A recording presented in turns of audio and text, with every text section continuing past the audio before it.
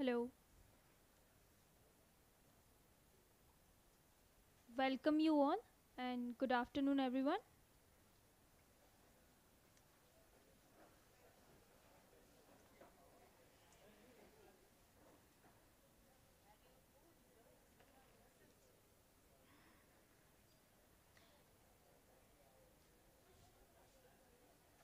So I hope everyone has taken the seats. So now we will continue our session with our third expert talk from Professor M.H. Vasavda sir. Professor M.H. Vasavda sir is retired professor of mathematics from Sardar Patel University, Vivinagar. He has done his PhD from University of Wisconsin, USA. He has 36 years of experience in teaching in various colleges and universities and 32 years of experience in research.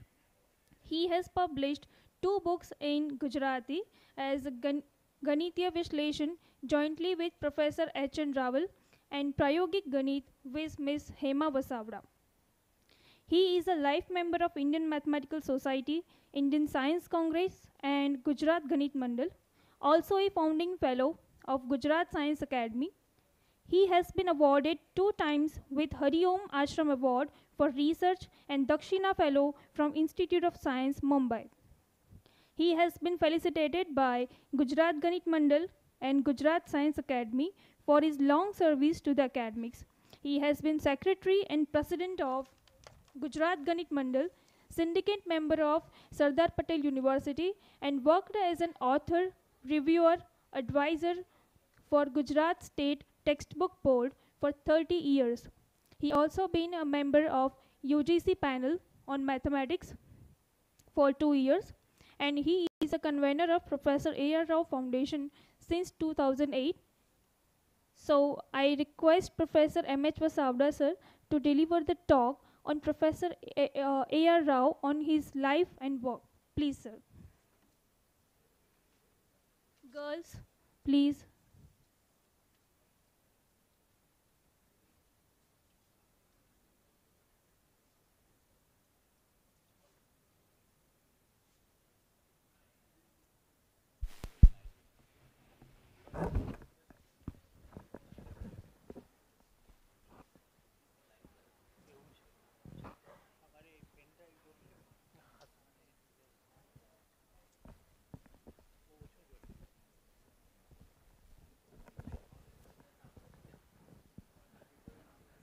No, I think he would better uh, sleep rather than hear me.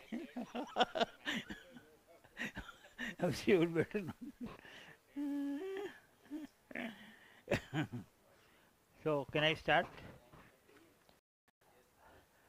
Uh, Dr. Joshi, Dr. Amit Bhai Parikh, Professor Ogelia, Professor Pathak, and uh, other faculty members and student friends. Is it okay if I speak in English or in Gujarati or both or or I think the best thing would be I don't speak at all. Am I right? Just standing for you. But I don't think that's going to be possible. Can you hear me now? The, okay. Uh, you have been hearing about uh, artificial intelligence, satellites, pharmaceutical products, and of course IRIS. I don't have anything of like, like that. What I'm going to talk about is Professor A.R. Rao, for whose name this program has been arranged. I think I'm specially qualified to talk about Professor A.R. Rao, not only because I have read quite a bit about him, but I have been his student for four years at undergraduate level. And uh, a student when there were not many students in the class. In our BSc class, there were only five students. So Professor Rao was teaching here and I was sitting there and there were three or four more students. So that way, distance-wise also, I have been quite close to him. In other ways also, so let me tell you something first about his life and then partly about his work. Professor Rao was born in a very small village in what is known as Tamil Nadu today. It was at that time it was not Tamil Nadu, it was Madras state. પણ એ ત્યાં એમનો જન્મ થયો મદ્રાસમાં he took undergraduate education. Wilson College મુંબઈમાં he did his masters with first class mathematics. પછી શું કરવું? એ પ્રશ્ન હતો. The jobs were very scarce કોલેજમાં એમને ટીચિંગ કરવું હતું but there were not many jobs available so he went back to Madras ત્યાં એને એક દિવસ he received a letter from one of his friends at Junagadh કે અહીંયા એક વેકન્સી છે મેથેમેટિક્સમાં ઇફ યુ આર ઇન્ટરેસ્ટેડ તો તમે એપ્લાય કરો. સો અને plain paper he wrote the application that આ મારા ક્વોલિફિકેશન છે I would like to come there for teaching at undergraduate level. And he thought that there will be an interview and all. Nothing. He simply got an appointment letter. So naturally was quite happy. He went to the railway station to go to Junagadh. When he asked for ticket to Junagadh, he said one ticket for Junagadh please. That man on the counter, he looked at him because uh, there were two Junagadh in the book, one in Bihar and another, of course, this Junagadh in Gujarat. He said, which Junagadh? Rao Sahib did not know which Junagadh he was going to go. તો એણે શું કર્યું કે એના ખિસ્સા ફંફોળ્યા અને એમાંથી એના ફ્રેન્ડનો લેટર મળી આવ્યો એ ફ્રેન્ડનો લેટર જે મળી આવ્યો એમાં વાયા બોમ્બે એવું લખ્યું હતું the letter had come from Junagadh to Madras via Bombay. So he said, there is one Junagadh where I can go via Bombay. So can you give me the ticket? That is how he came to Junagadh. That was in 1933. And we are very lucky. Gujarat has been profoundly lucky that Professor Rao decided to stay here in Junagadh all these years. He was there for 27 years in Junagadh. Then he went to Gujarat College, became a principal at Bhavnagar Science College. After retirement also he served in a couple of colleges. And then for a long period, more than three decades, he worked in Vikram Sarabhai Center, Community Science Center at Ahmedabad. By the way, તમારામાંથી કેટલાએ આ Vikram Sarabhai community science centre છે એ જોયું છે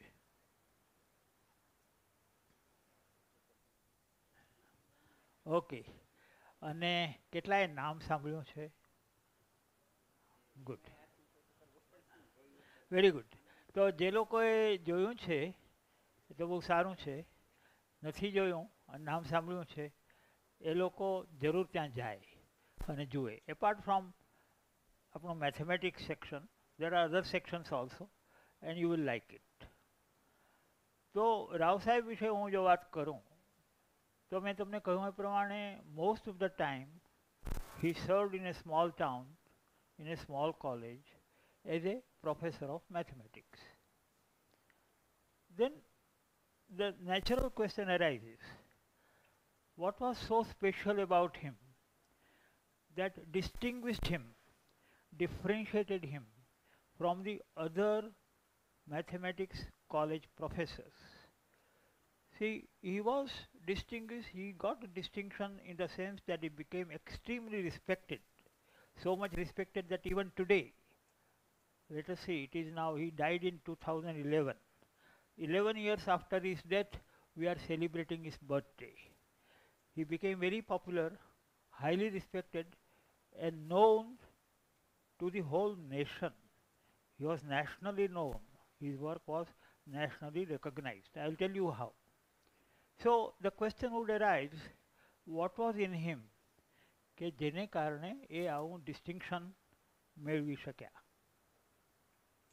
One thing is profound knowledge. If you look to his knowledge, the knowledge, the amount of knowledge that he had, you would be some simply surprised. See, he he loved geometry. He also did some work in number theory and combinatorics. But it he did not simply confine to these topics, these areas. He could talk on so many things and his knowledge was really profound. But, well, there are people who have a lot of knowledge, who know many areas, and yet they do not reach to that height. So what was other thing about Rao Sahib? Two things. Number one, I told you that he was in Bahauddin Science College, Bahauddin College, for 27 years. Junagadh is a sleepy town. There are not many activities going on in that town. Bahauddin College is a small college. There is no library or rather big library. You would not get many visiting people, experts who would come there. You would not find many people with whom you can discuss mathematics. You would not even good students. So practically for more than 25 years he was working in isolation. And yet the amount of knowledge that he got was simply stupendous. So that was one thing for which we can admire him.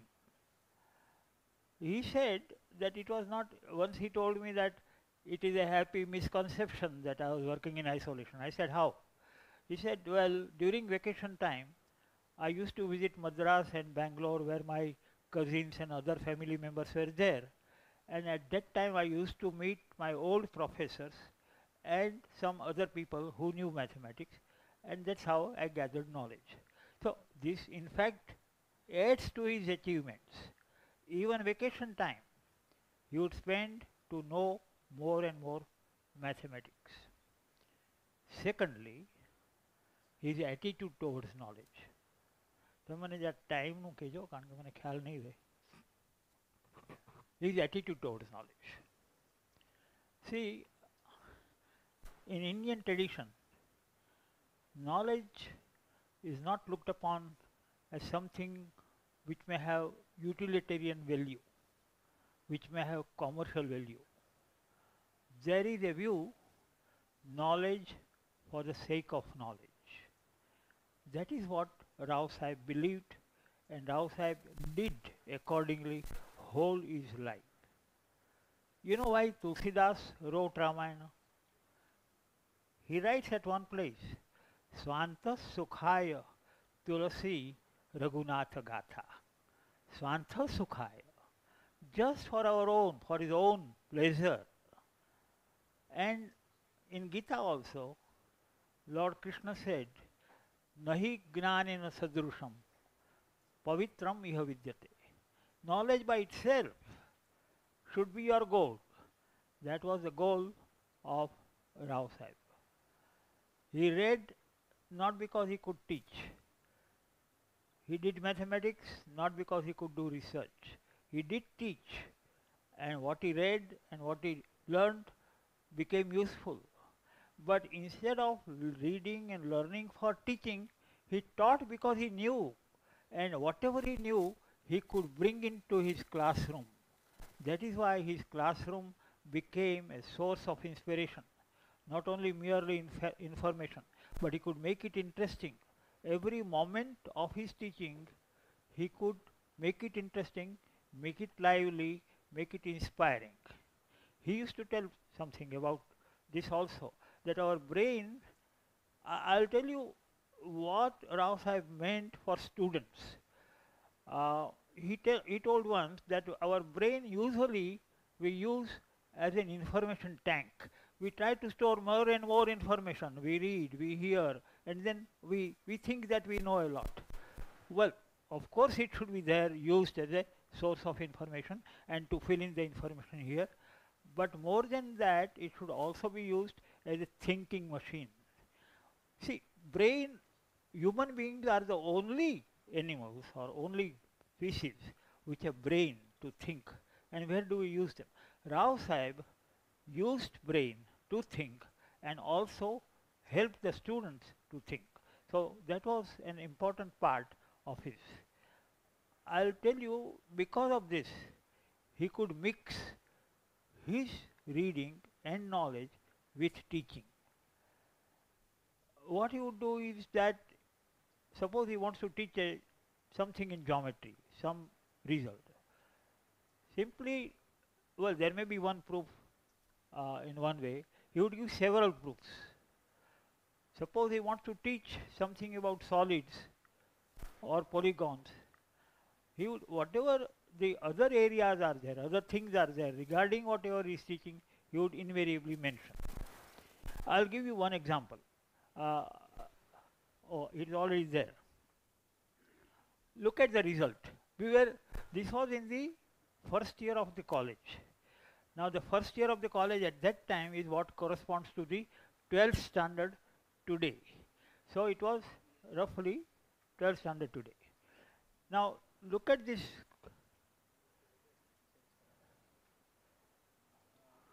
Anna? No, I think I can uh, simply read and uh, there won't be any problem. No, no, એ તો next, Huh? But આના ઉપર જ આપણે અચ્છા okay હા simple example prove that tan tan inverse one plus tan is equal to pi by 4. Would anybody tell me how would you do it? Don't read the further part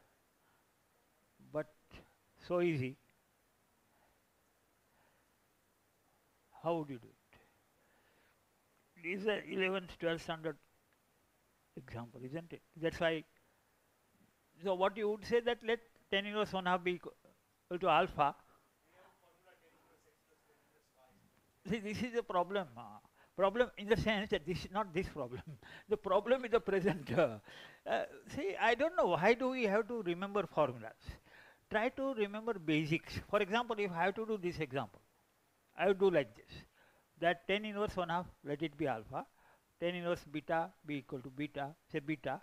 So we want to prove that alpha plus beta is equal to pi by 4 now instead of using the formula that you mentioned about tan inverse would it not be better that you remember only the formula for tan alpha plus beta?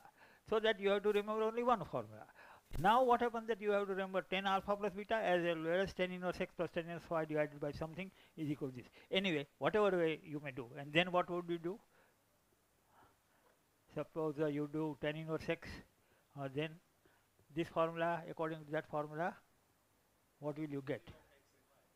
Huh? Is uh, one half and one third. Huh. Hmm. so by ultimately you will get this is equal to tan inverse 1 very good so but i will not give you a book i don't have this huh. so uh, you put tan inverse 1 half is equal to alpha, tan inverse 1 third is equal to beta, tan alpha plus beta is equal to tan alpha plus tan beta 1, 1 minus tan alpha tan beta and you will get it equal to 1. Therefore, this sum is pi by 4. Now, look at this, what he would do. He was, he loved geometry. So, wherever possible, he would bring in geometry. So, this is now the see this figure. He said draw a square ABCD let E be the midpoint of BD that is BE is equal to ED. Join CE. Now because DE is 1 half DB and it is a square therefore BD will be equal to CD. Therefore what will be if I call this alpha uh, uh, well, I, I think I'll go here and say that this is alpha. This is alpha. What will be tan alpha? ED upon tan alpha, ED upon CD, and ED is 1 half CD. So, what will be tan alpha? 1 half. Therefore, alpha will be equal to tan inverse 1 half. And uh,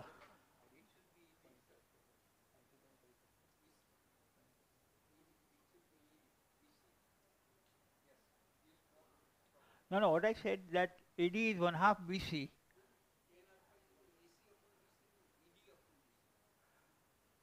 oh oh oh tan alpha yeah. Sorry sorry yeah there is a mistake here હા ના ના બરાબર પણ આ લખ્યું છે ખોટું છે યુ આર રાઈટ અને મેં અહીંયા જે લખ્યું છે ને લખશે બધા એટલે you are it is not ED, ED upon CD. Uh, I cannot correct it, please uh, correct it.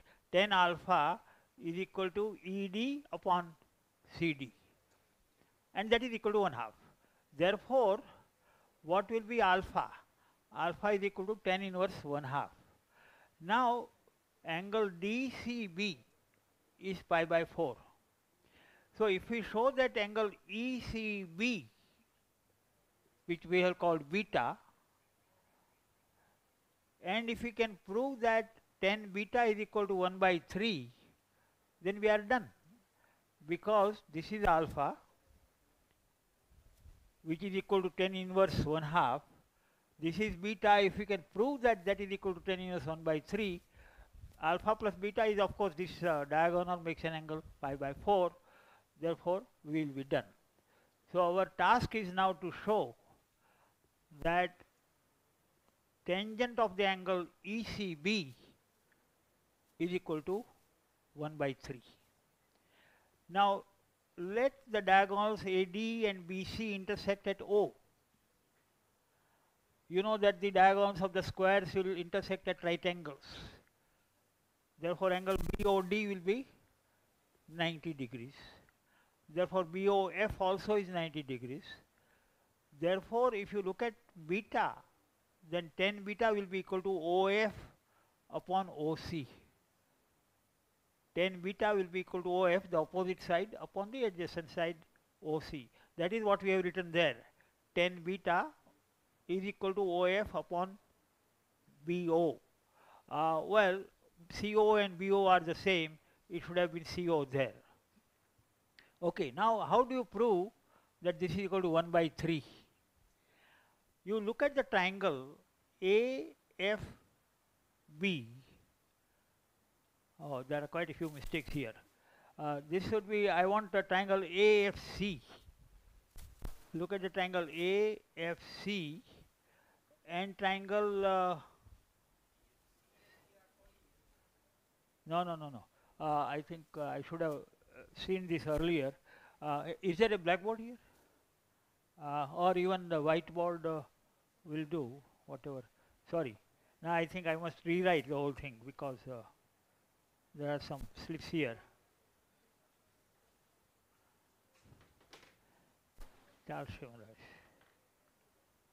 Uh, oh, oh, it is also.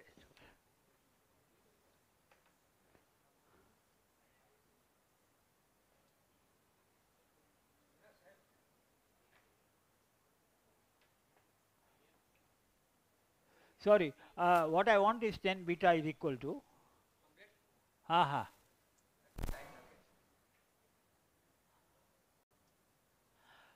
tan beta is equal to OF upon BO instead of that I will write down whatever it is OF upon CO that is fine. Now I want triangle AFC uh, now don't look at there triangle AFC and triangle EFD.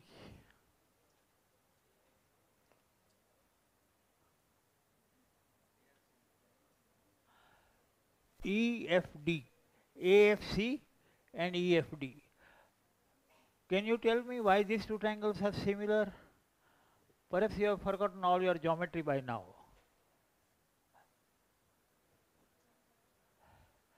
You need only two angles to be equal for the triangle to be similar. And angle AFO AFC is equal to angle EFD vertically opposite angles right? Can you show me some other angle? These are parallel lines isn't it? AC and ED are parallel lines. Therefore angle CAF will be equal to FDE alternate angles right so I don't write all that, but let us assume this result now. Now, now I think uh, the next part is correct, so I can go there because of this now. Take the side, well, in two similar triangles, if you take the corresponding sides, the ratios will be equal, they are proportional. So if you take AF upon FC, that is the side of triangle AFC, corresponding sides are, uh, oh, that is also not true.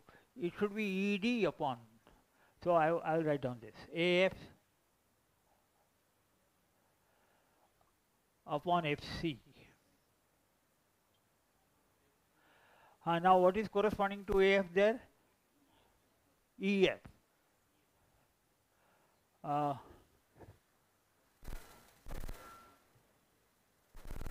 no, uh, what I want is AF upon FC. Uh, I want AF upon FC. Ah, now corresponding to AF, it's opposite to C. So I must take the side opposite to E. So that will be equal to opposite to E is FD. And FC is opposite to angle A. So here it will be opposite to F. Ah. EF, yes.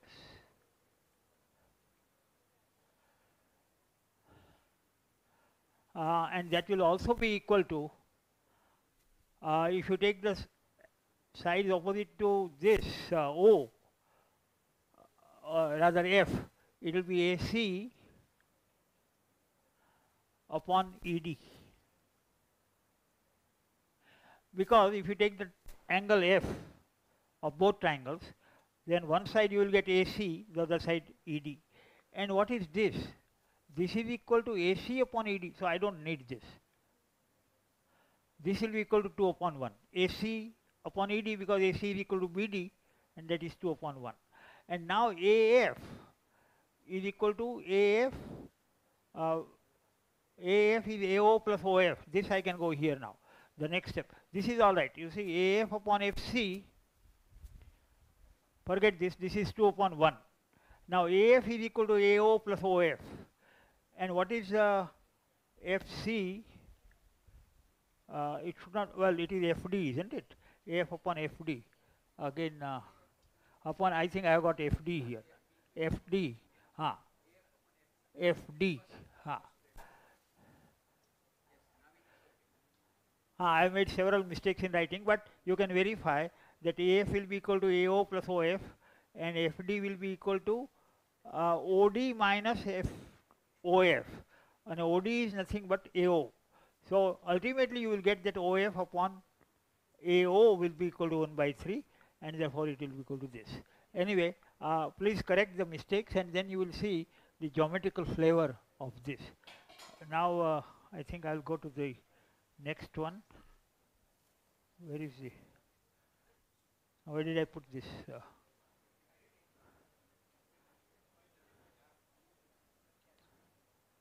ના ના એ ક્યાંક મેં મૂક્યો છે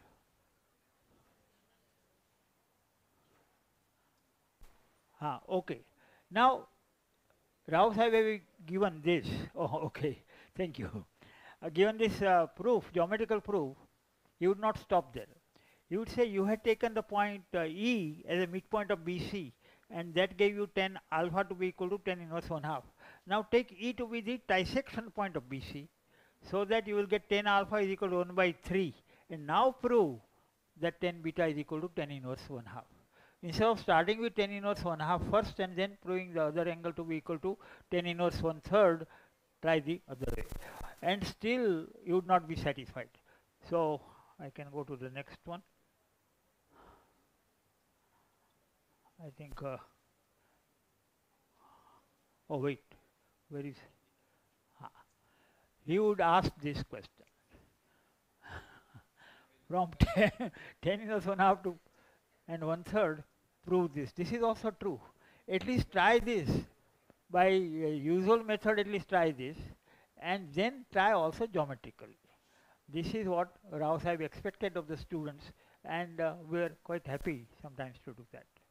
Talking about uh, his other classroom teaching, uh, See, as I told you, he was versatile and he could talk on many things. For instance, when he talked about the tetrahedron or a cube, he would also mention that there are five platonic solids.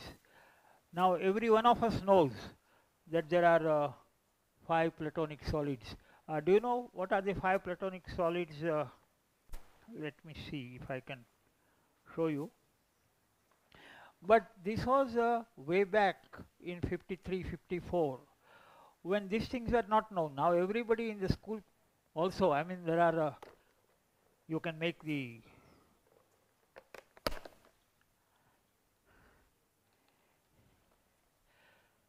You know what is this? Okay, fine. Good that you know. And what about this one? Pyramid, but special name.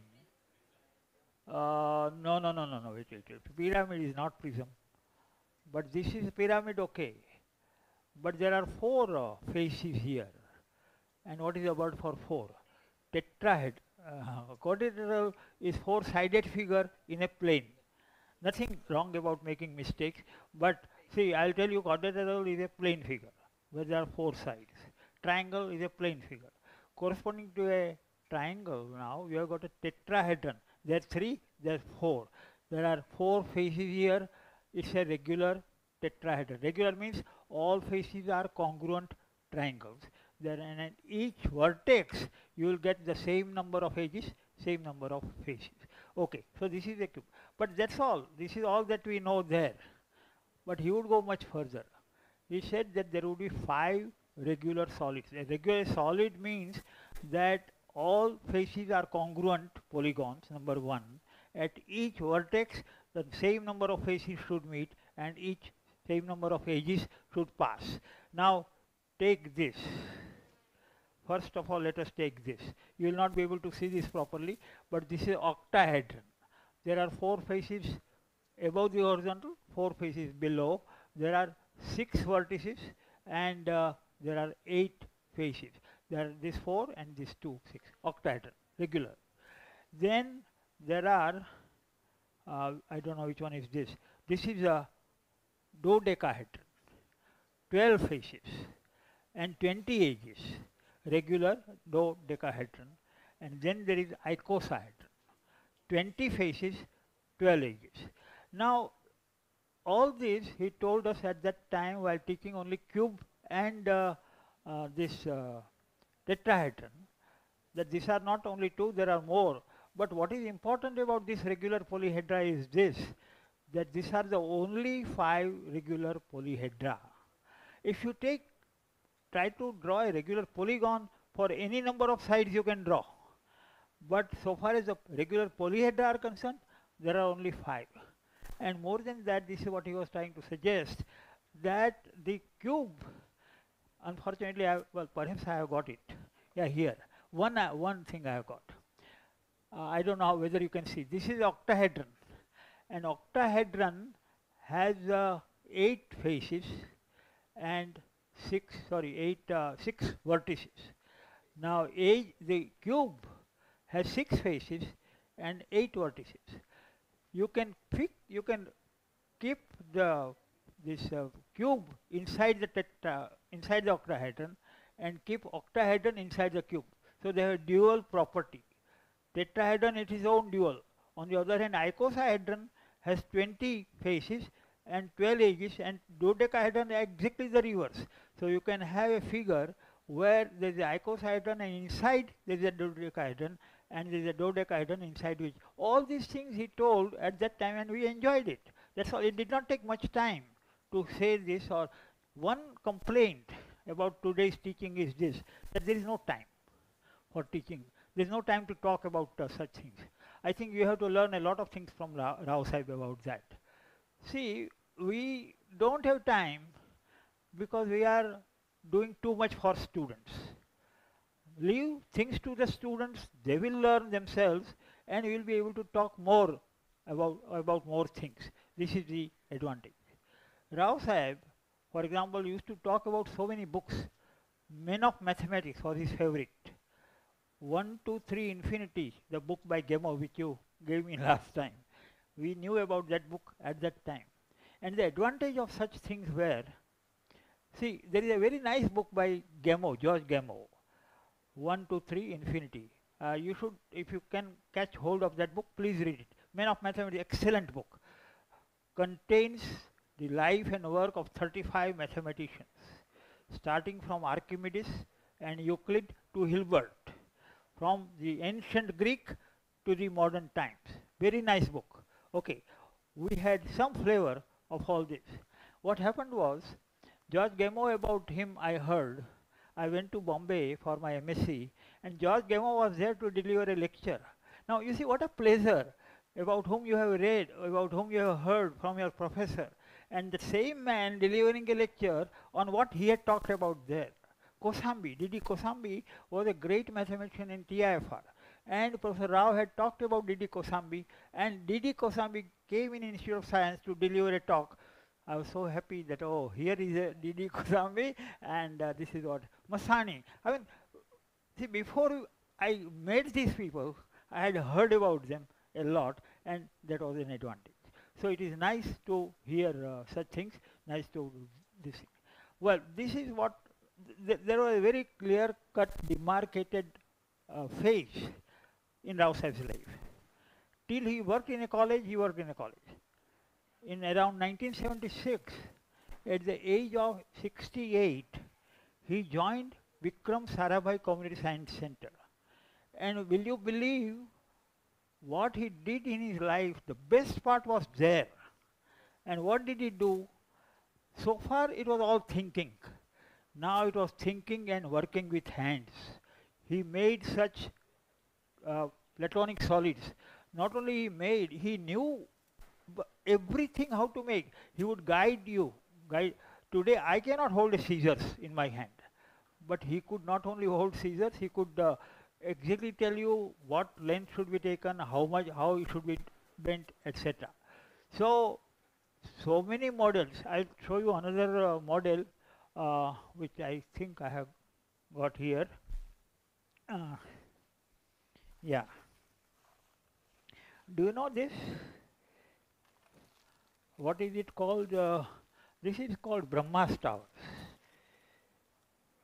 Uh, Brahma's Tower there are, uh, there are three nails here, three pegs here.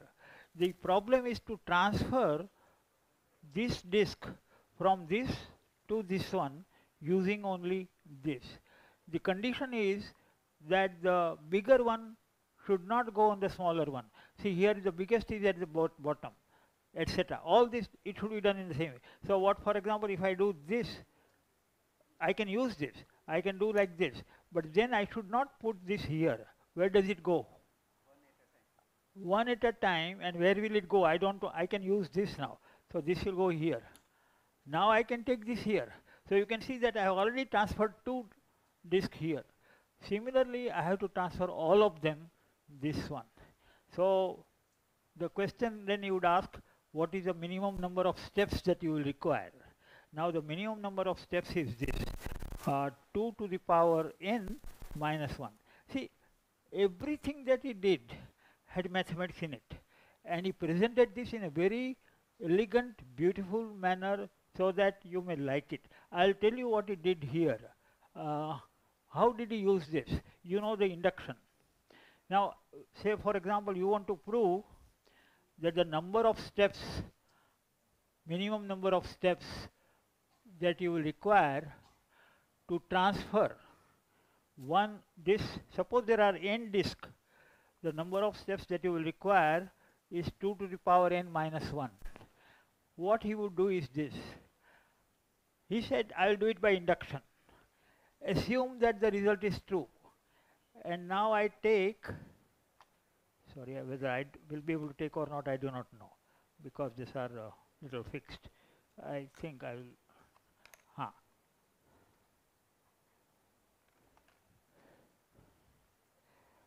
Huh, there was already n disk here. I have taken n minus 1 and transferred them here.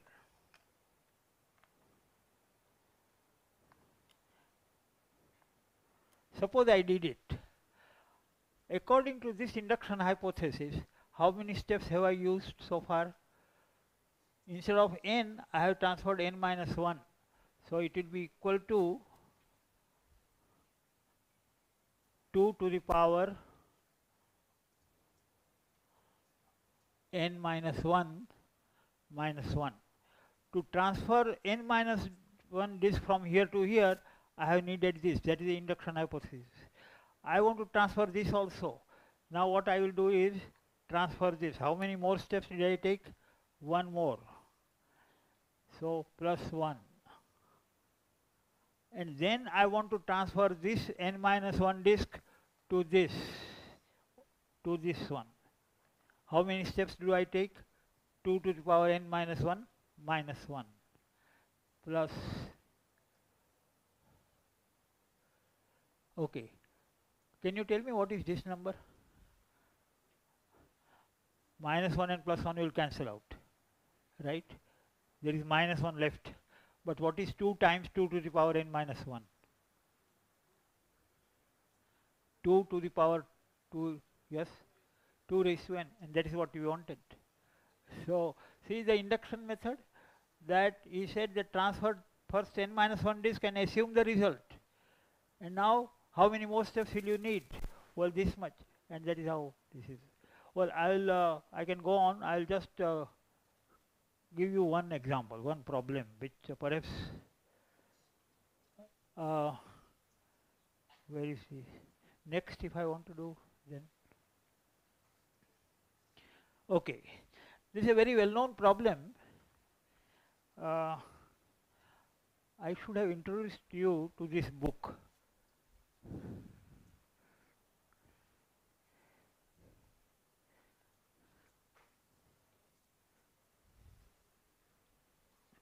These are the books by Rao Sahib. Brain Sharpness, Gujarati translation, Buddhi Kaso. In this book, the very first problem, why I am taking this problem is this reason. The very first problem is what is called the a milkman's problem. The problem is this, you have two jugs full of 3 liters and 5 liters milk you have also an 8 liter jug which is empty. What is the problem? There is a customer who comes to the milkman and said he wants 4 liter milk. You have only two measures 3 liter and 5 liter. How by using 3 liter and 5 liter you are going to give 4 liter milk? You can do it by trial and error. Uh, shift these 3 liters to this, 5 liters to this, etc. etc. Try it. But we do not want to spend time on it. I'll, I'll show you a method which uh, is my own uh, which will work for any two relatively prime numbers. Okay, so can we go to the next one please? Ha. You have now here the 3 liters and 5 liters and you require 4 liters. So now we make a table 3, 5 and 8 so,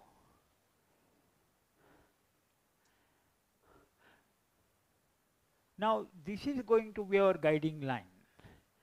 We will express 4 as an integral linear combination of 5 and 3. 4 can be written as 10 minus 6 and 10 is equal to 2 multiplied by 5. 6 is 2 multiplied by 3. Now what does that mean? It means that you have to take 5 liters milk two times and take away 3 liters milk two times. This is the this will be the guiding equation. Okay, next please. Okay, first is 350 that is the initial situation. There is 3 liters here, 5 liters here, nothing there. Okay, then uh, now what we do is I want see the last column was an empty jug. We want to, whenever I say that I want to add, I would like to add from in that jug. When I want to say subtract, I want to subtract from that jug. Okay, now 2 multiplied by 5 means I have to take 5 two times. T at least take one time, this 5 liter can go there. So now the situation is 305. Okay, now next. Okay, now I want to, wh what can I do next? I cannot take 5 again because there is no 5 there. I have to take 2 times but I cannot do it. But I can take uh, 3 liters at least. But for 3 liters, measuring 3 liters, you have to have that 3 liter jug empty. So what I do is I'll transfer this 3 liters from 3 liter jug to 5 liter jug. So I will have 0, 3, 5. Okay, next please. Okay, now because there is 5, I can take 3 from there.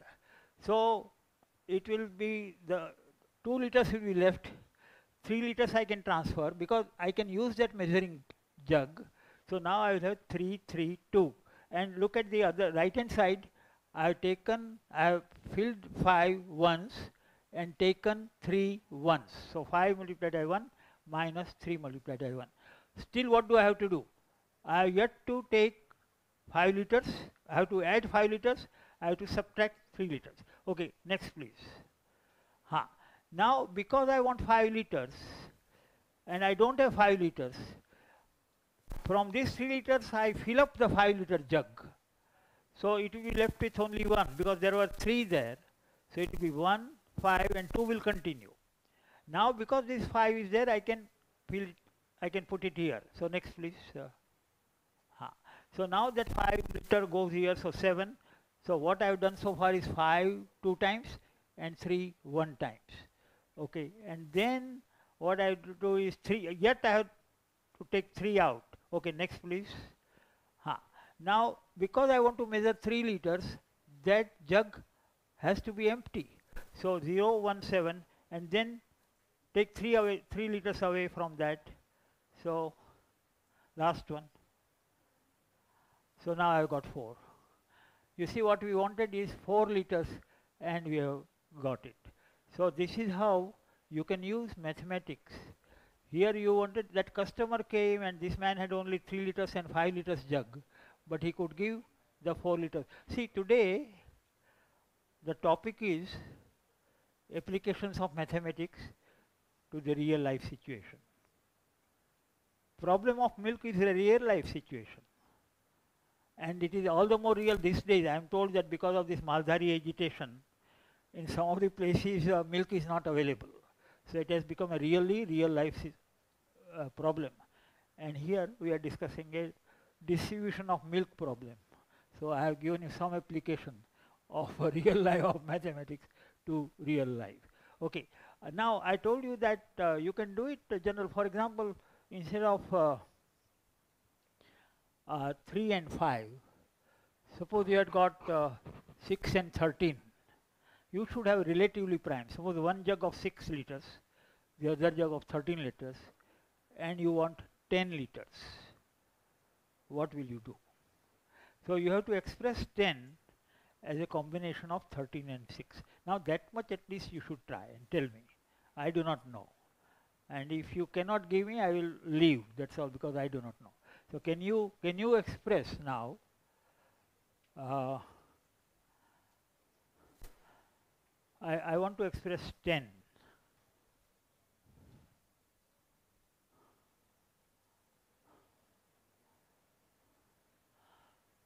as a combination of 13 and 6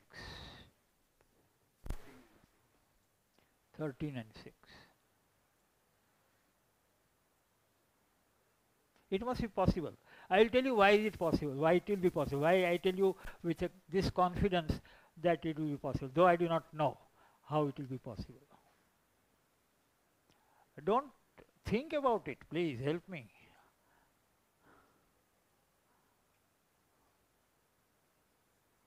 Thirteen.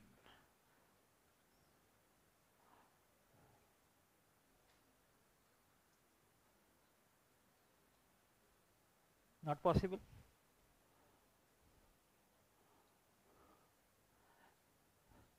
Thirteen, yes, twenty, fifty-two. Very good, very good. Uh, 13 multiplied by 4 minus 6 multiplied by 7. Very good. So you have been able to access. What will you do now? That means that that 30 liters jug will have to be 4 times and then you will have to take 7 times the 6 liters from that. Uh, it will be arduous work but anyway the work has to be done. You can't say that uh, things will be easy.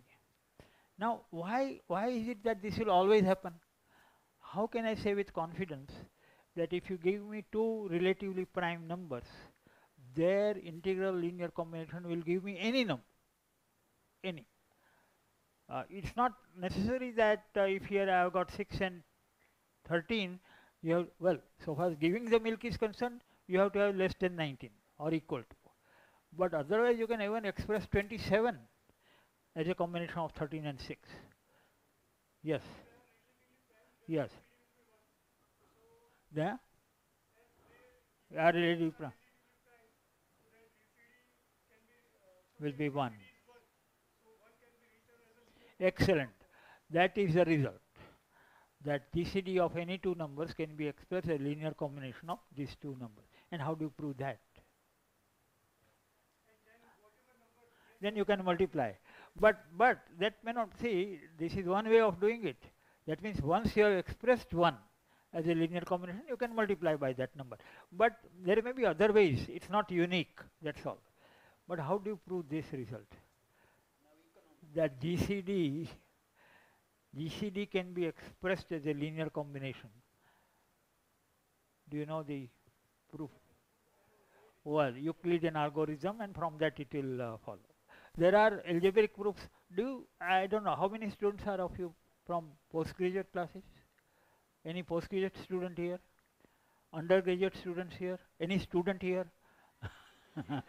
no, because okay. Now because you see, uh, in name we may be student, but we may not be a student. Sometimes in name we may not be a student, and yet we may be a student. So anyway, let me let you find out. How about undergraduate students? How many of you are undergraduate students in this? You are. The others? No one? Oh, you are all uh, studying BSc in BSc class. In this on this side also very good. So in the final year now. In the first year. Oh, then uh, that is all right. Uh, but this, this uh, I told you, if you refer to the 10th standard book, then you will find this. That GCD can be expressed as a linear combination of two integers. So given a and b, there will be always integers x and y such that ax plus by is equal to 1. So that is how you can do it. So that is what uh, you are using. Uh, what is the time like? Uh, તમારો time થયો હોય તો પછી I would not take મોર પતી ગયું છે okay so let me give my tribute to Professor A.R. Rao. As I told you, I owe a lot to him. It was he who made my mathematics education. Sitting at his feet for four years was a great experience. But it was not only those four years. Fortunately, I could meet him ever after. Uh, even when he was in Ahmedabad, when he retired, when he went to Bhavnagar, or uh, when he was, we had frequent meetings, and every meeting was enjoyable. One thing about Rao Sahib was this. See, if you, if, if two very knowledgeable mathematicians meet, they may not have anything to talk about because they may have specialized, so much specialized that they may not be able to talk.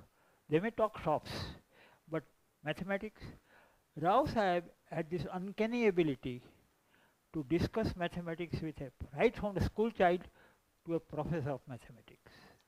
Professor M.H. Stone came to Junagadh. M.H. Stone, big name. Stone Weierstrass theorem is very well known. He came to Junagadh because there is a caves in Junagadh, near Junagadh, and he was an archaeologist. M.H. Stone was also interested in archaeology. So he visited Junagadh. He was in the guest house, and Professor Rao could discuss with him something aspect of topology. Now talking about the people about whom Rao told, Rao Sahib told, and I had some contact, he talked about stone in our classroom, and I had to use stone Weierstrass theorem for my research work. So this is how uh, then uh, stone sounded familiar because I knew him in the this. Finally, I'll give one quotation. Rao Sahib used to talk about so many things. Sometimes he even quoted people like Shakespeare or others. One thing that I liked is this. He said, if somebody knows and knows that he knows, is a wise man જો કોઈ માણસ જાણતો હોય ને ખબર હોય કે હું જાણું છું, તો એ શાણો માણસ છે. ફોલો હિમ તો એને અનુસરણ, એનું અનુસરણ કરજો. One who knows one who knows not and knows that he knows not is ignorant enlighten him જો કોઈ માણસને અમુક બાબતની ખબર ન હોય પણ એને એટલી ખાતરી હોય કે એને એને ખબર હોય કે એને ખબર નથી, તો એનો અર્થ એમ કે અજ્ઞાની છે. તો એને જરાક જ્ઞાન આપજો.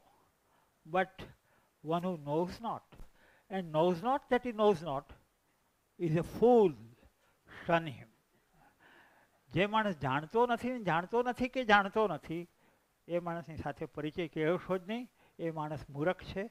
એને, પછી જો કે અમે કેટલીક વાર એને કહેતા કે સાહેબ, એવા લોકો માટેનું શું કે દે no not and still they think that they know Rao સાહેબ કે શેક્સપિયરના વખતમાં એવા લોકો નહીં હોય આપણે ત્યાં આજે ઘણા લોકો એવા છે કે જે લોકોને ખબર નથી હોતી છતાં એ જાણે છે ને મને તો બધું આવડે છે ચાલો bye bye thank you What bot- better reward for a teacher than a student talking about his life and work? Thank you, sir. Thank you so much, sir, for Thank your you. uh, wonderful time. Thank you, sir. It was very wonderful talk. Thank you. As an appreciation for Professor Patak for the time and valuable. Sorry, sorry, sorry. Ah, uh ah, -huh, it's all right. He will take it. I will. He will give me. No, sorry, sir. No, no, no. Sorry, sorry. Professor Vasavada, sir, uh, for the valuable time and input he has shared us. I would like uh, Mr. Paritosh Prajapati, sir, to award, to give him memento.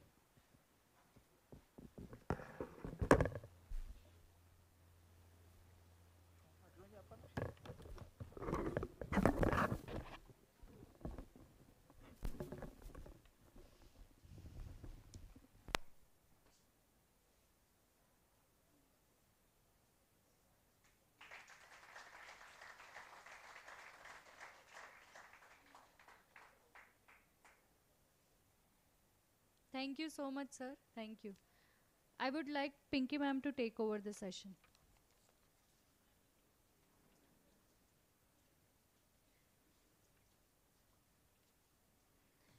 Hello, everyone.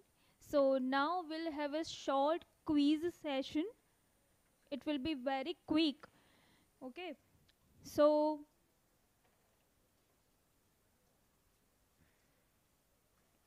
I request everyone to bring out your phones and browse www.menti.com and be ready with the screen.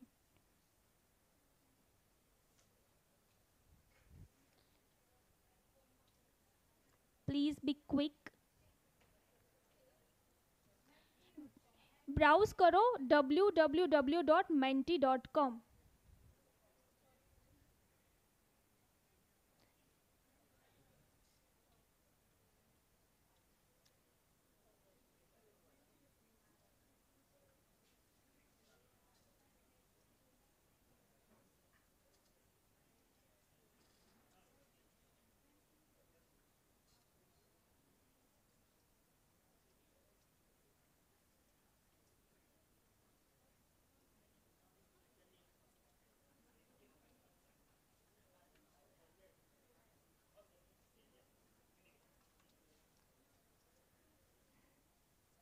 Everyone started the quiz?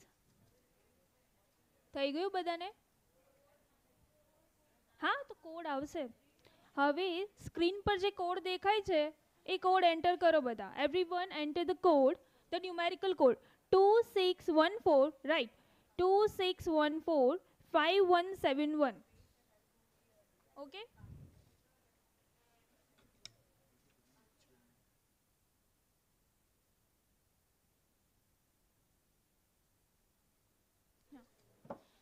Now, maybe you have asked to enter your name, right? Haven't? You entered the code? Okay, now you have uh, asked her name, pet name, isn't it?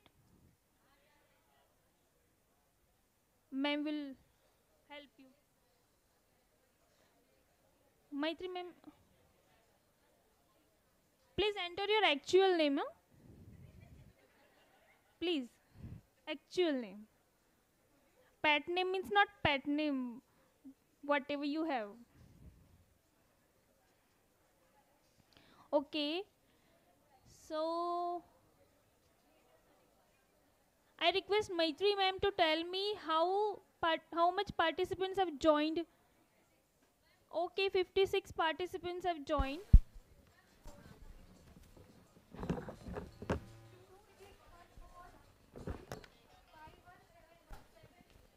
Two six one four five one seven one. Done, everyone? Okay. So I hope all the participants have joined the quiz. So now we are going to start the quiz very quickly. Okay. The questions you you will be seen on your screen, right? And you have to answer in only 20 seconds. So be quick. The faster responder will get the highest points. Okay? So be ready. Okay, so we are starting the quiz.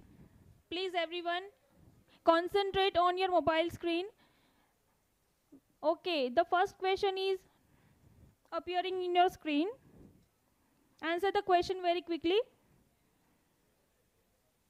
First question Rao Sahib has established a mathematics laboratory at dash dash dash. Time is running. Okay, time's up. Okay, so leaderboard is showing us 42 participants have given the correct answer. Let's see who, who made the correct answer. Okay, it shows. I request Maitri ma'am to help me. Okay, Disha Trivedi is leading the leaderboard. Well done. Let's go on to the next question, please. Question number two. Which of the following is not the publication of Professor A.R. Rao? A. Chalk and duster. B. Brain sharpeners. C. A manual of mathematical models and teaching aids. And D. Ganitya Prayogo. Be quick. Okay, time is running and time's up. Okay, around 28 students have given the correct answer. Let's see who won. Okay, so leaderboard is showing us. Please, Maitri ma'am, help me. Okay, so, sorry. Tejas Patel? Dhara Patel. Oh, Dhara Patel. She is leading the leaderboard. Congratulations. Let's go on to the third question. You have to identify the mathematician in the picture, right? With Professor A.R. Rao. Option A is Professor A.M. Vaidya. Option B is Professor P.C. Vaidya. Option C is Professor J.S. Vaidya. And option D is Professor C.V. Vaidya.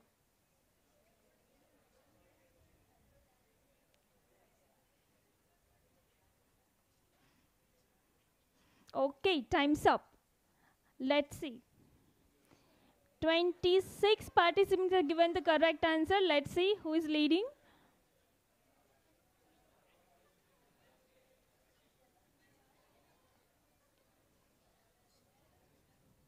Again, Dhara madam has leading the leaderboard. Congratulations, madam.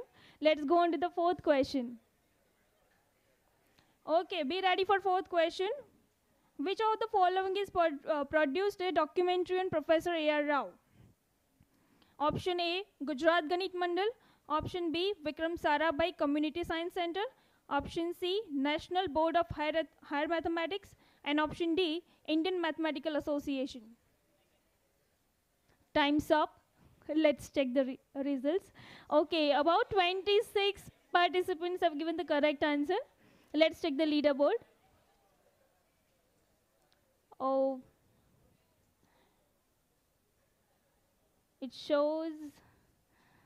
Okay, again, Dhara madam is leading the leaderboard. Congratulations, madam. I, I think you will be the winner of the quiz. Okay, the next question. Professor A.R. Rao lived with the glorious dash years. Option A 102, option B 104, option C 100 and option D 103.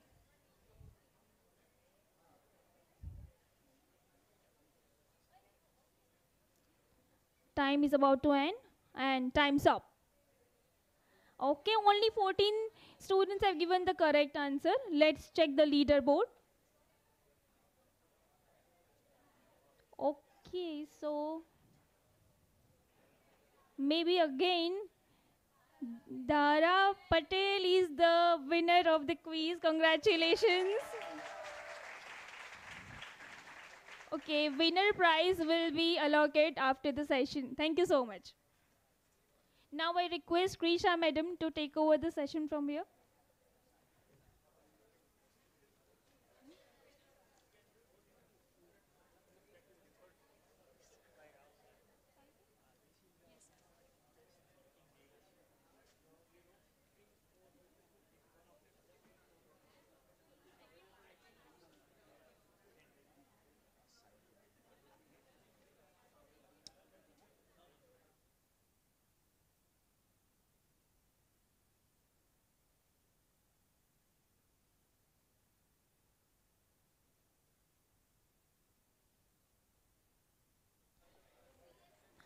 Hello.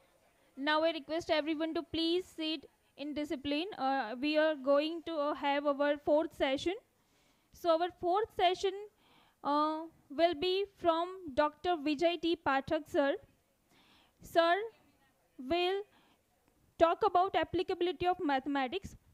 Dr. Vijay D. Pathak sir has his PhD in mathematics from SP University, Vallabh Vidyanagar in 1981.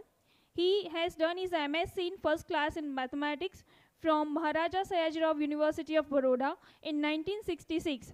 He has teaching experience of more than 50 years. He was professor at Department of Applied Mathematics, MSU Baroda.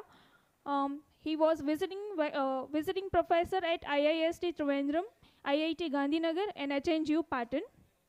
He has been head of the Department of Applied Mathematics, Pro Vice Chancellor from May 2000 to March 2003 of MSU Baroda. He has been principal of Charutar Institute of Computer Applications, Changa from July 2007 to April 2010.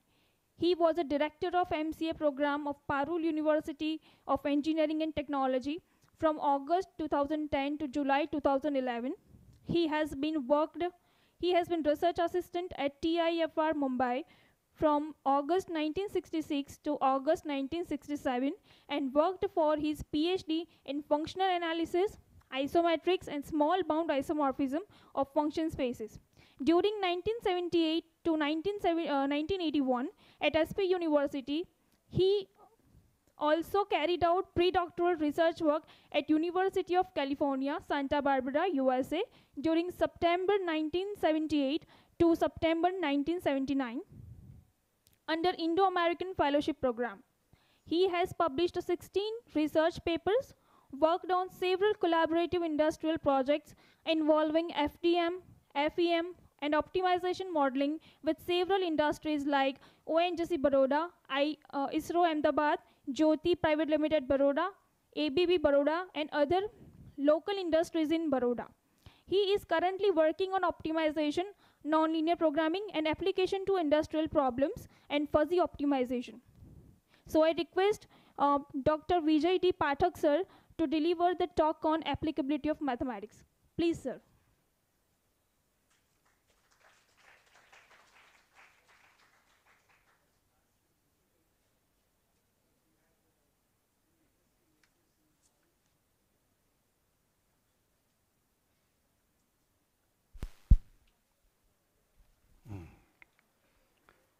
So I was saying that my task is difficult because you had uh, several good lectures in the morning and uh, this is the last session.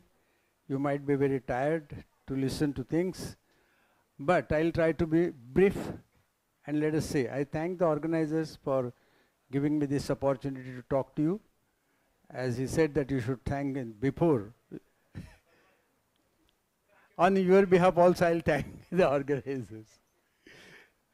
Okay. So, see Professor Rao will actually, let me go through my PPTs, okay, uh, I'll, I'll do that. Fine, here. This is the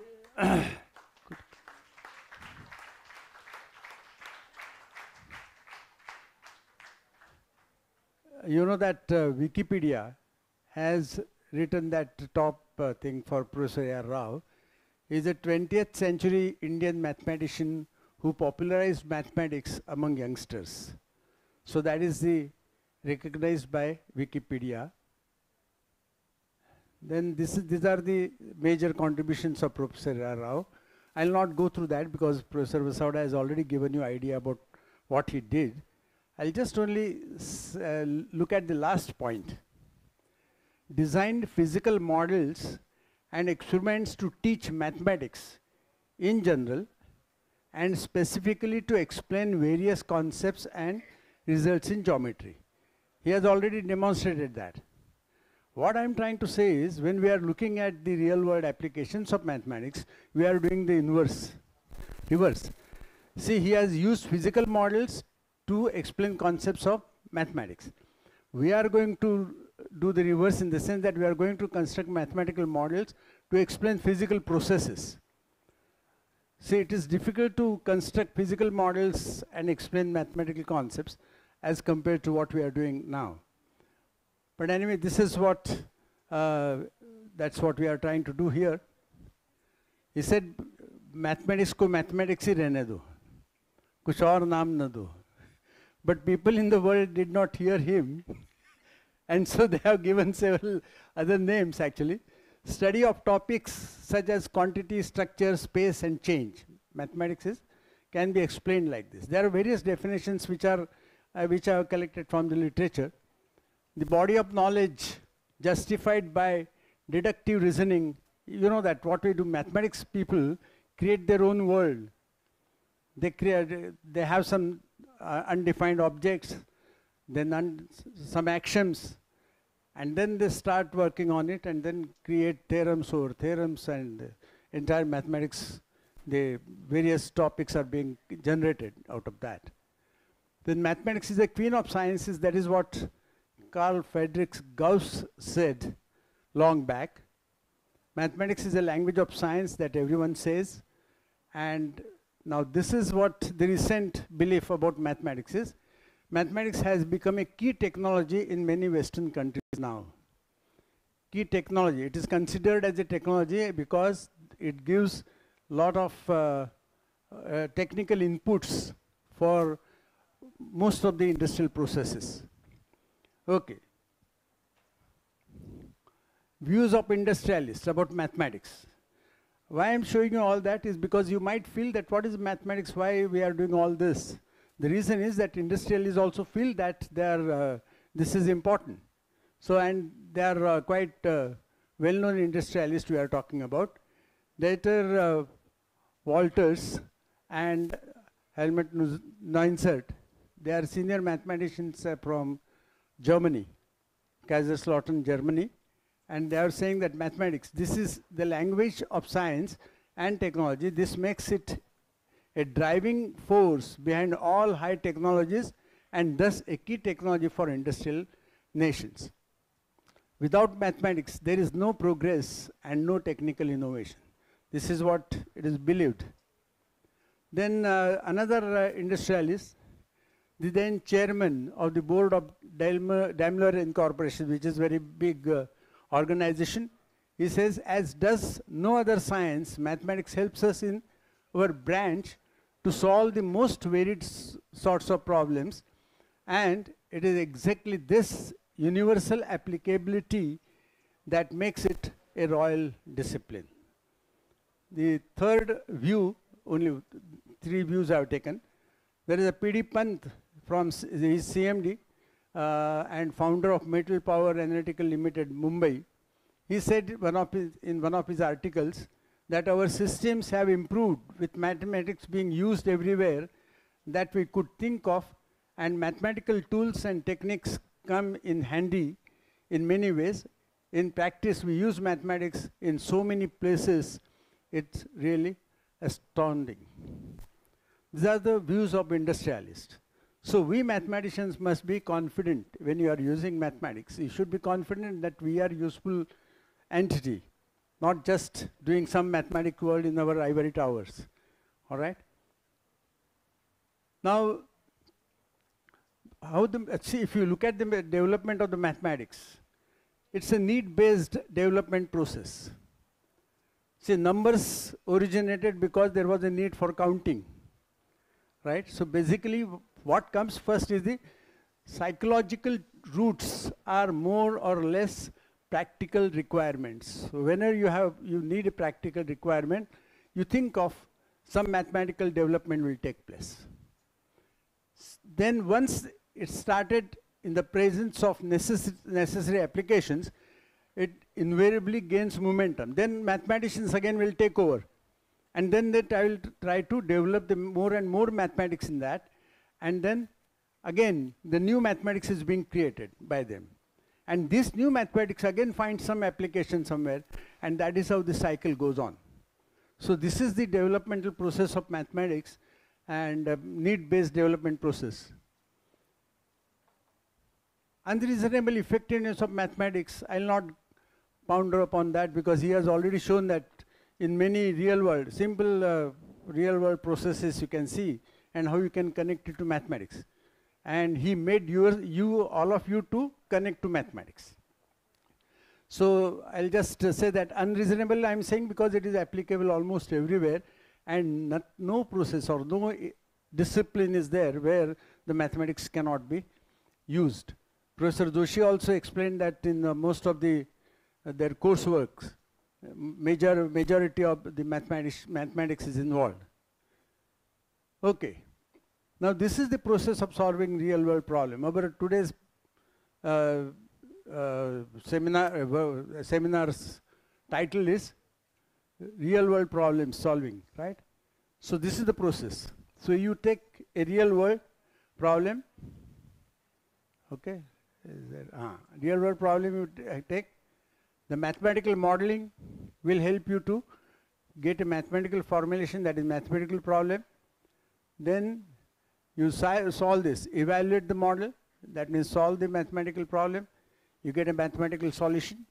Once you get a mathematical solution, you validate it and interpretation you have to do. If validation is not right, you may have to go back and do the reverse process, I mean, go back through the cycle again, and interpretation, and then you communicate to the real world, the real solution. This is the process that we use for applying mathematics for real world problem solving. Now this is what we are going to do for with few examples I'll illustrate this process. Okay. So our first, uh, this is a I'm going to talk about the mathematical modeling process because in the last slide, slide we have said that this is what we'll have to, sorry, yeah, uh, this is what we are trying to do, mathematical modeling, which converts real world problem into mathematical formulation. This, this process I'm going to explain you. And this is the simple uh, way to perform mathematical modeling. There are various techniques of mathematical modeling.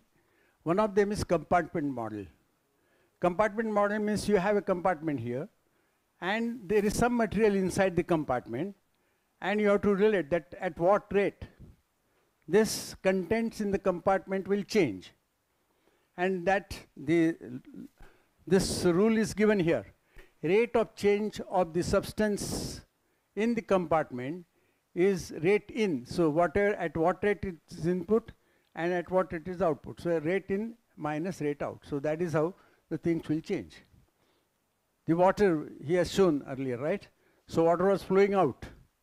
He has stored the water. There was nothing, no, not nothing coming in. But rate of change of water inside was related to rate out of uh, flow out, right? So that is what we mean by compartment model. The mathematical equation representing this balance law is the compartment model. So see, mathematical model is always going to be in terms of uh, mathematical equation, maybe algebraic equation, maybe differential equation or maybe some kind of an optimization problem and things like that. Okay, and you can see here that this compartment model, whatever equation that we get is going to be your compartment model. Now these are the various illustrations I have uh, quoted here. I may not go through all of them because it may be too tiring for you, but I'll, I'll just start it with a very simple application to the real world application which is being carried out in Germany. That is what uh, I'm going to show here. See, first is traffic flow problem.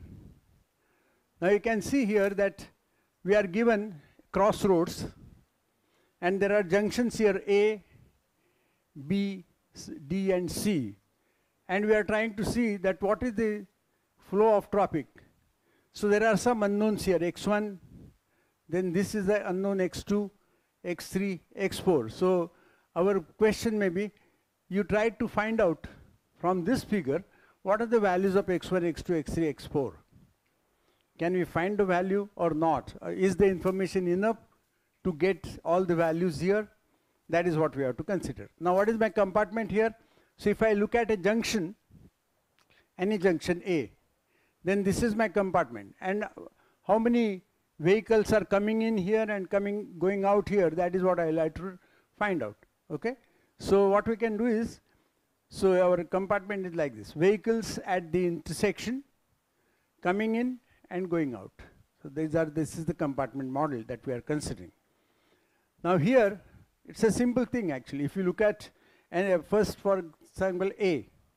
Then if you look at A uh, how many vehicles are coming in this one, 6110 and X4. These are vehicles coming in. And going out are 450 and uh, X1, right? So I can say that my equation is 6110 plus X4 equal to 450 plus X1. Simple, okay?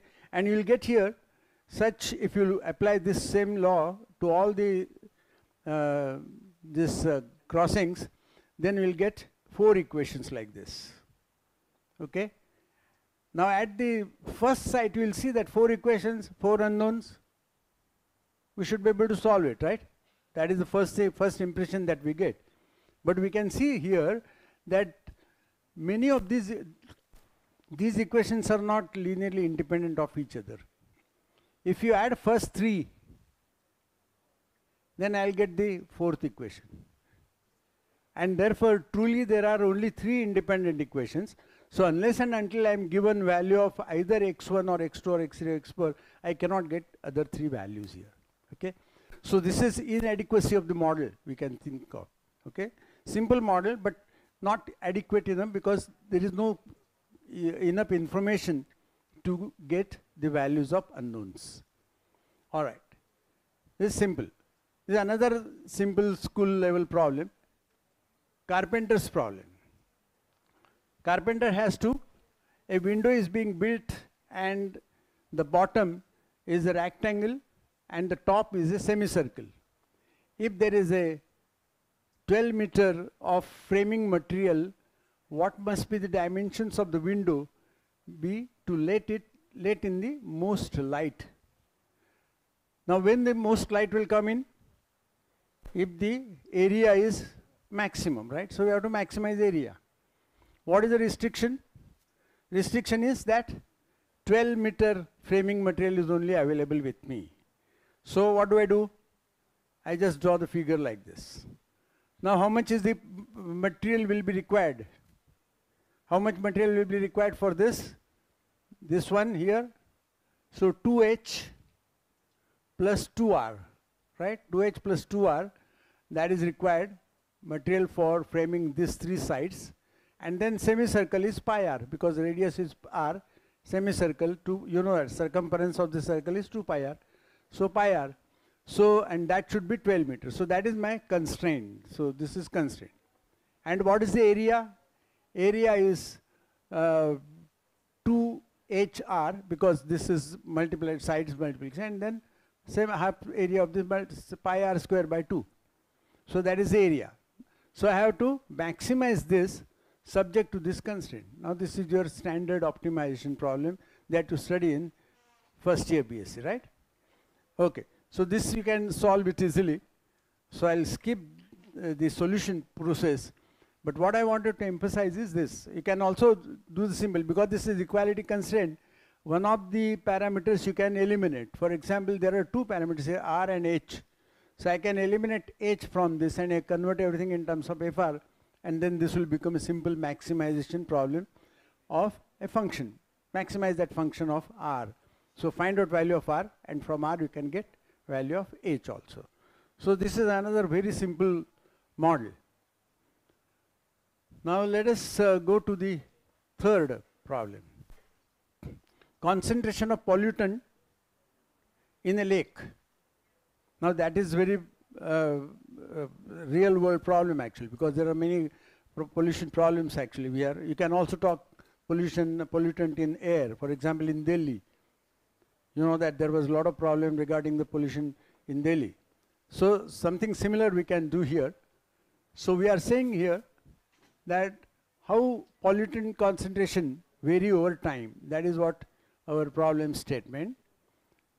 And we have got a lake which has a constant volume of water, constant volume of water and continuously well mixed so that the pollution is uniform throughout. Now these are all assumptions to make the problem simple.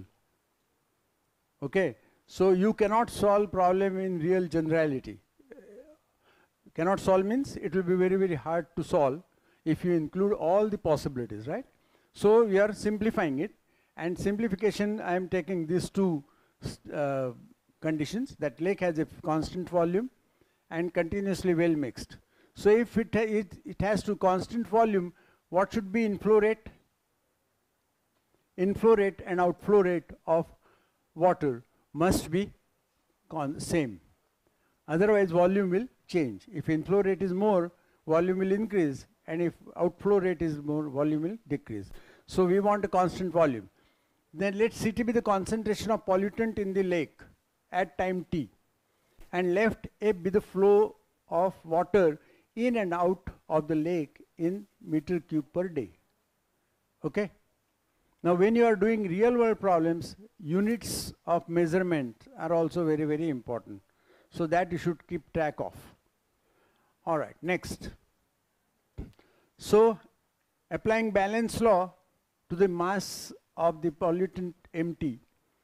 So that is mass of the pollutant and that is concentration of pollutant. Concentration will be mass divided by the volume. So you can see here MT is equal to concentration into volume. So mass divided by volume is a concentration. So this is the equation that we get. The rate of change of mass of the pollutant in the lake your balance law will work. So what is that? Rate at which pollutant enters the lake minus rate at which the pollutant leaves the lake. That is our standard balance law for compartment model. And now here, what is that rate of change will be m dash t derivative dm by dm by dt. Then here my uh, flow rate is this much. So this much water is flowing in and C in means concentration of incoming water. Concentration of incoming water. And then we have got minus F. So what will be uh, concentration of the water inside the compartment? It will be MT by V is the concentration of the water inside the compartment. So multiplied by the F that will be going out. So therefore this is the equation differential equation that we get where C in is the concentration of the pollutant in the flow entering the lake. And now if you use this MT equal to CT uh, dot V and M dash T will be equal to V into C dash T because V is constant, I can get this equation. And you can solve this. This is again first order differential equation which Professor Joshi was discussing. And you know how to solve that. So once you solve this, you can, uh, where C0 we'll have to consider here. This is the solution that we get. I have not I explained you what, how we have got this solution, but you can work out yourself. And the C0 is the initial concentration in the lake, initial concentration. Initial concentration and C in they are different things. Okay, C in means concentration of water coming in. Okay, so this is what we can say. Now you can see how variety of uh, areas we can think of. Here we have considered pollution problem, right? Earlier we have considered a carpenter's problem. Firstly, we have considered traffic flow problem. Now we are considering here model to establish Hardy-Weinberg law. What is Hardy-Weinberg law? It is law in genetics. Okay, and uh, what is what it says? Every characteristic of an individual, like height or color of the hair, is determined by a pair of genes. So for every characteristic, you know that uh, normally child will resemble one of his parents, right? So many characteristics he will get in genes, right? So that comes because of this. Uh, so what we are saying is, is determined by a pair of genes. One obtained from the father and the other obtained from the mother. Okay. So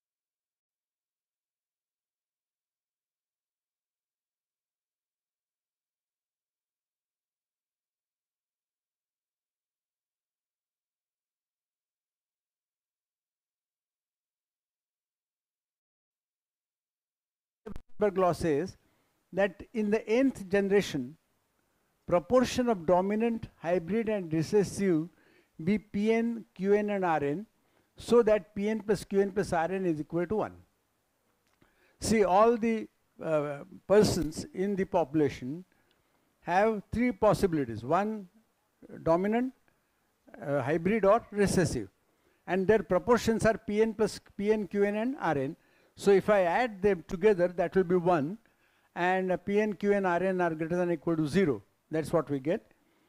Now, uh, what it says, assumption is, the uh, assumption is that in this generation, individuals mate at random. Now, there is no specific mating means because uh, when you are trying to get an offspring, the parents will mate and mating is done at random. That is what it is said. Okay. Uh, so that means uh, you are not selective in selecting your partner. At random you can get one partner. That's, that's what it means. Okay, then the Hardy-Weinberg law says that states that in any population in which random mating takes place, random mating takes place with respect to a characteristic, the proportions of dominant, hybrid and recessive do not change after first generation. Only first generation it will change, after that it will not change. And that can be proved mathematically. That can be proved mathematically. And how do we do that? to establish this law, we proceed as follows. Probability that an individual in the n plus 1th generation is dominant, that is GG, is equal to probability that this individual gets capital G from father and probability that he, this individual gets capital G from mother. Both parents are giving him cap, uh, dominant genes. That is what uh, we have. And what is the probability of getting dominant gene? Getting dominant gene probability is like this. Now, uh, it is possible that uh, this may be dominant, the parent may be dominant uh, in that particular characteristic or it may be a hybrid or it may be recessive parent also. So, possibility of getting uh, capital G from a father that he should have either GG or he may be capital G and small g, capital G and small g. So, but there are, uh, for hybrid, there are two possibilities capital G, small g, small g, capital G. And therefore half of that proportion will be giving me the probability. So probability of getting uh, getting uh, capital G from hybrid parent is 1 by 2 Qn. 1 by 2 Qn and from the uh, dominant parent will be Pn because according to the proportion. And once I get this and both I want capital G, so this square will get here. Right? So that is, that is what we get. Pn plus 1 will be Pn plus half times Qn square. Similarly, now I can find out Qn plus 1. What will be Qn plus 1?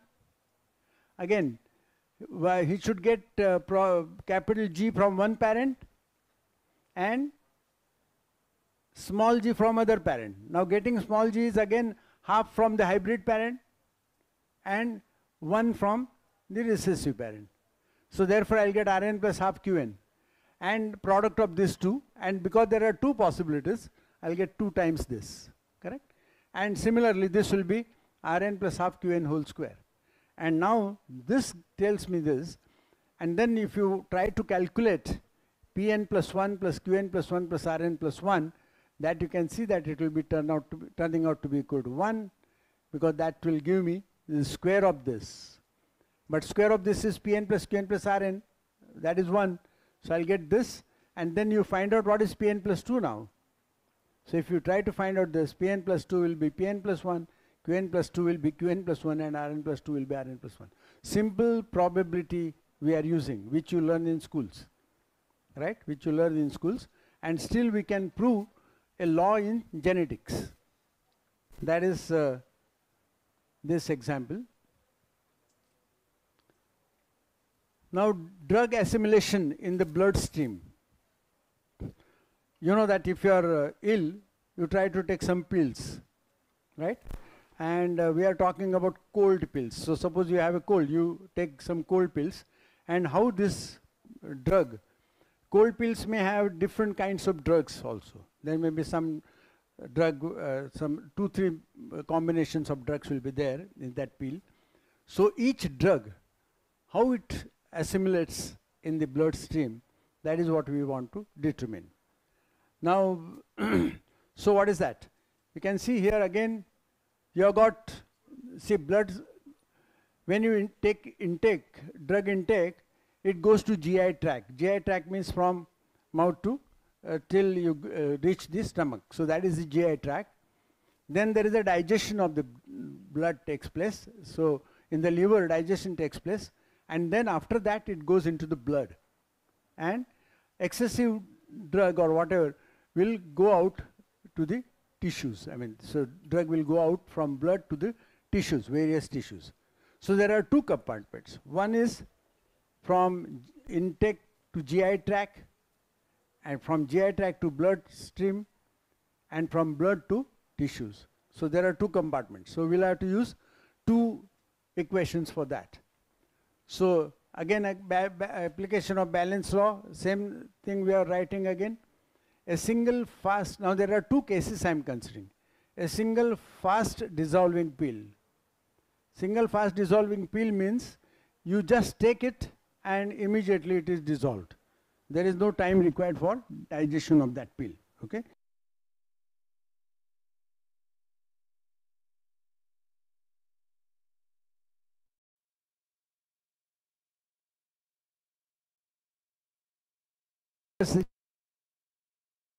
instantaneously dissolves at time t equal to 0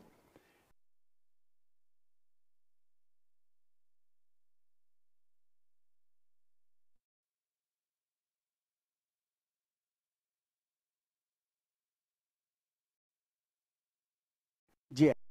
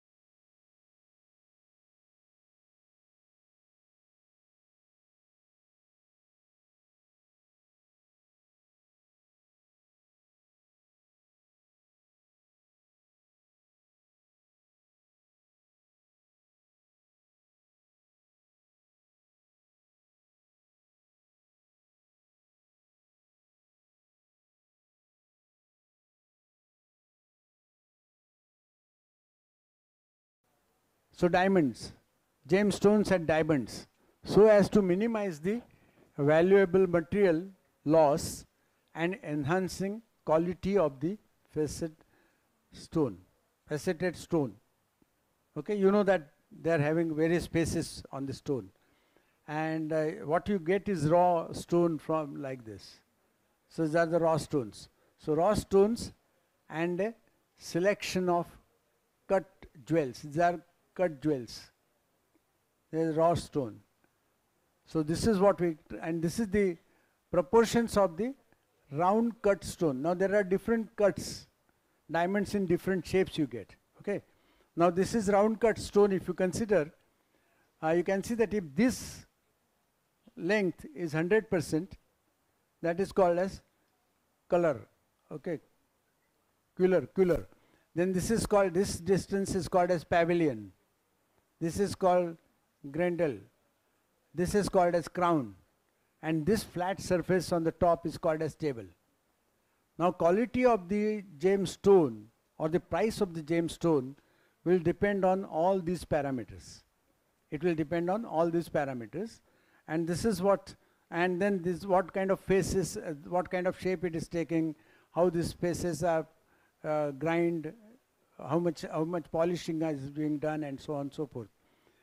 The process is explained here. So the process of uh, process chain for processing a faceted stone is this. First, the raw material is select, uh, uh, sectioned into clean pieces containing no flaws or cracks which we will refer to as rough stones. Okay? So if you have got raw stone, there will be impurities there. You try to cut those parts which do not have those impurities and they are considered as raw stones. Preforming. Here the rough stones are coarsely pre-cut. So some small cuts are being made. Because in one stone, only one uh, gem, is, I mean one diamond is not going to be cut. There can be several because if some small portion is left out, you can have small size diamond. So that is what is happening. So preforming, here the rough stones are coarsely pre-cut. This defines the base uh, form and the approximate proportions of the subsequent faceted stones proportions because that is what the size it will be decided. Then grinding is done. So grinding means you are just trying to make the faces properly and then polishing is done. So finally the faceted uh, facets are polished to a high gloss finish. This is the process that is going on to uh, this stream. How a faceted stone is appraised, that means how it is cost, how the cost is decided. The faceted stone is appraised according to the four criteria. What is that? These four criteria are four C's they are called. Carat, clarity, color and cut. Okay? Carat, clarity, color and cut. The carat is the measure of weight equating to 0.2 gram. One carat means 0.2 gram. And then clarity indicates the absence of inclusions, cracks, surface flaws, etc. So how clear it is. Then the cut of faceted stone has a decisive influence on its ability to reflect and refract light. How light is reflected and reflected and refracted. And the value of faceted stone is directly proportional to its weight, its clarity, the natural color of gemstone and of lacquer, the enhanced effect created during its processing and its reflective and refractive characteristics. So that is how the stone is considered. Modeling of maximum material yield problem. See why I am calling it as a maximum material yield problem? Huh. So maximum material yield problem, we are considering that material is, uh, uh, gemstone material is there out of which you have to find out the diamonds. So maximum utility should be there and less uh, actually waste should be there. So this is what we get and the final uh, problem will be considered like this. Problem with fixed designs we are considering. So you may fix the design and then you are trying to cut the stones. So with C, we denote the, and with FK and all those things we are considering. Let me just give you the final uh, thing here. We search for a, this is what we are, our problem will be maximum yield problem. What it says that maximum, so you have to find out, we are, we are considering AL as the possible designs, all possible designs, out of which we consider some selective designs that is called as L star. So maximize, so you have to find out the better, best design. So L star contained in L in such a way that, uh, and sigma 1 is contained in sigma 1, theta 1 contained in this. These two parameters, sigma 1 and theta 1, uh, reflect the other characteristics. So theta 1 parameter for this, you can see. Translation vector we are considering as theta 1. Theta 1 is the rotation you are talking about and translation you are talking about. So that the entire James gemstone will be contained in the volume, I mean the piece that you are selecting. And then if you write it like this, then we are saying that this plus this should be contained in C, sorry. Then we are saying that after rotation and this, there should not be any intersection with the uh, material uh, characteristic there. And these are the two other constraints are there. And you can see that where int A refers to the interior of the set A. So what we are trying to emphasize here is that we are using high level mathematics okay, in order to solve such a problem, which is gemstone problem, which is real industries problem. And thereby you can find out the maximum yield for the material that you are using and you can get the maximum benefit out of this material. I wished I had some more time to explain this details, but you can see that this is again an optimization problem. This is an optimization problem and here the variables are continuous variables, but that we can make them discrete variables also by imposing some simplifying assumptions and it can be converted into your standard uh, optimization problem and then we can solve it. Okay? Yeah, that's right. okay. Thank you. Thank you so much, Pathak sir. It was very wonderful talk on applicability of mathematics. Now I request Professor Nilesh Patel to present memento to Professor V.D. Pathak sir. Please.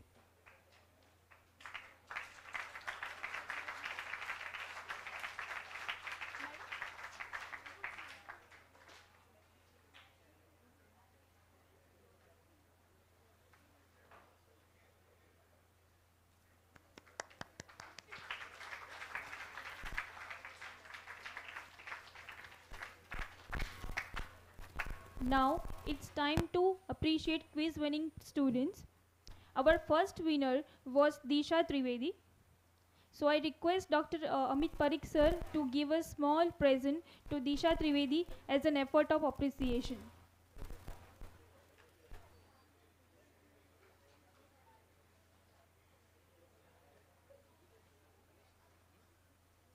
Students, please keep calm.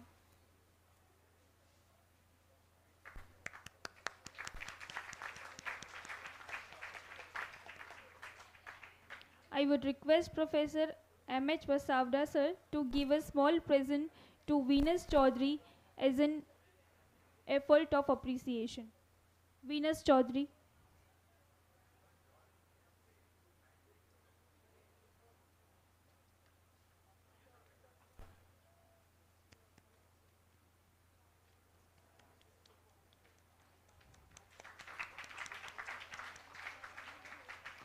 Request Professor V.D. Pathak sir. I request Professor V.D. Pathak sir to give a small present to Parth Thakkar as an effort of appreciation.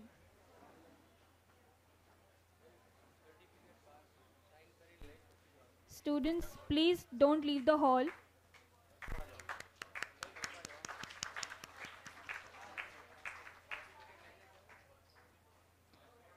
Now, on behalf of Ganpat University, I would like to request Professor Snehal Patel sir from Ganpat Vidyalay to deliver a vote of thanks.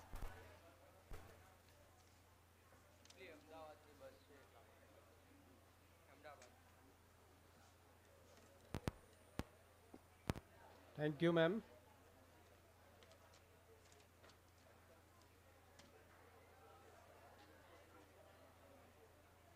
Good afternoon, everyone. Just five minutes. I can understand your feeling. We have reached to the conclusion of this one-day national seminar, Real Life Applications of Mathematics, on the occasion of Dr. A.R. Rao birth anniversary. And uh, we all are very grateful to the invited speakers, Professor M.C. Joshi sir, N.N. Rogelia sir, Professor V.D. Pathak sir, and Professor M.H. Vasavda sir for their valuable time and uh, their expert knowledge, uh, for sharing their expert knowledge in mathematics of real life, especially uh, the fact of Rao sir's life and contribution in mathematics. I would like to thank all the participants for participating in this seminar and uh, indeed this seminar would not have been successful without your cooperation and active participation. I hope that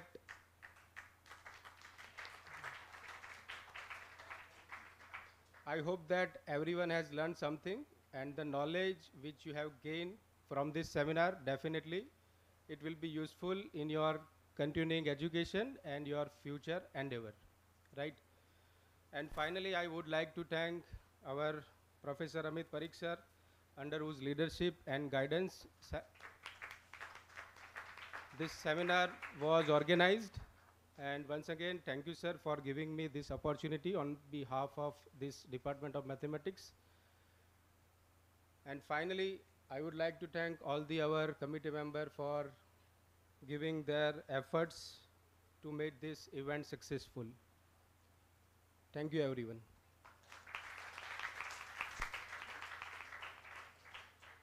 participants can collect their certificate from registration desk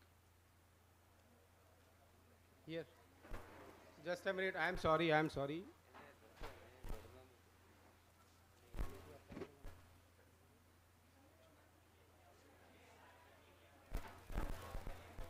Students, please stand up for university song. Now it will be held with the university song.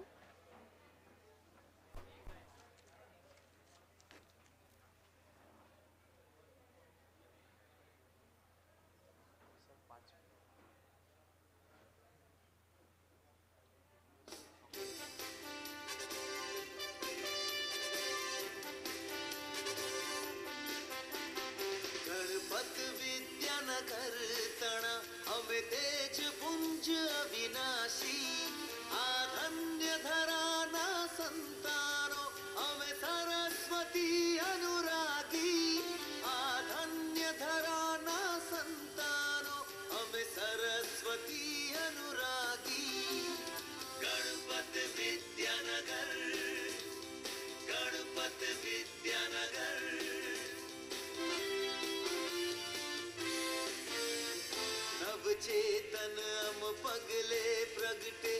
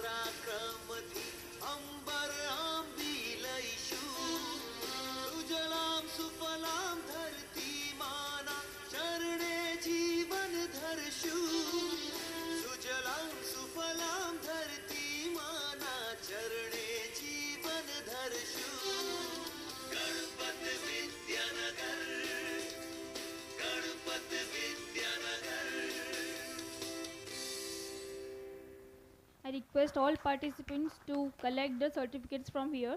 Student of Ganpat University shall collect their uh, certificates on Monday. MUS student from Maitri Madam and DCS student from Dhara. Thank you so much.